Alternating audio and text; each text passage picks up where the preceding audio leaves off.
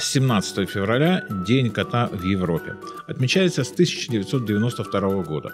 Это, конечно же, не официальный или государственный праздник, а скорее народное или общественное. Спешим поздравить всех нас с этим замечательным днем. Инициатором праздника стала итальянская журналистка Клаудио Ангелетти. Идею Клаудио поддержали не только активисты и защитники животных. Она понравилась и более широкой аудитории, ведь Италия стала домом для более чем двух с половиной миллионов бездомных кошек.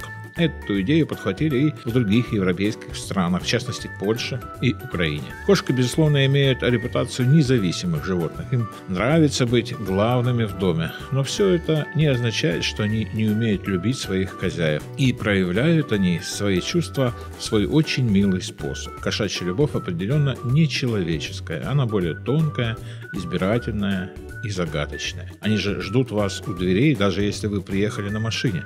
Некоторые коты распознают даже звук вашего двигателя. Когда кошка трется о ваши ноги, она всем дает понять, что вы принадлежите ей. Впрочем, что вам объяснять, если у вас дома живет кот или кошка? Угостите сегодня чем-нибудь вкусненьким. Все-таки праздник европейский у вашего кота.